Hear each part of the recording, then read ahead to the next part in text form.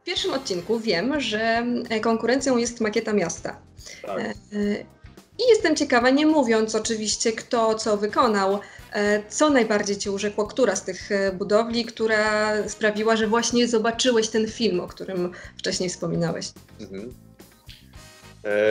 Jeśli chodzi o, e, o makietę miasta, to myślę, że największe wrażenie e, zrobiła na mnie e, budowla dwóch chłopaków, o których wspomniałem wcześniej, którzy, z których jeden jest architektem w życiu prywatnym, więc na budowaniu zna się trochę bardziej niż pozostali. Mówię o budowaniu budynków Mhm.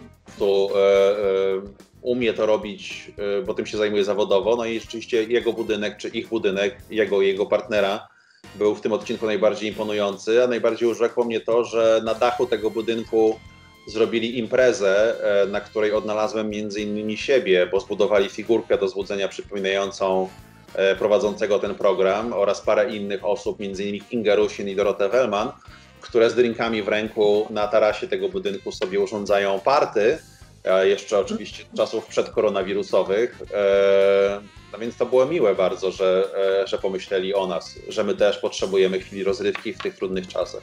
Zabrałeś dla siebie tę podobiznę swoją? E, Powiem więcej, nawet korzystając z chwili przerwy w programie, sam zbudowałem swoją podobiznę, która według oceny jurorów bardziej przypomin- przypominała Jana Kobuszewskiego.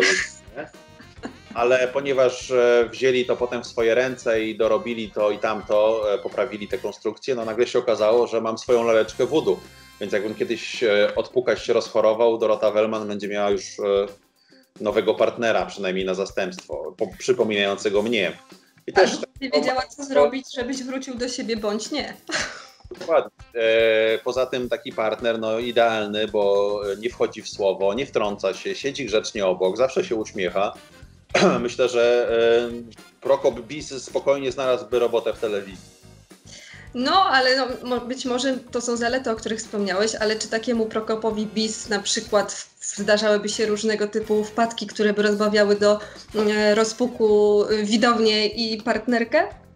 E, No i myślę, że spokojnie mógłby mu wypaść jakiś klocek i to by było e, na pewno atrakcyjne w programie śniadaniowym. E, No, oczywiście nie traktujmy tego zbyt dosłownie.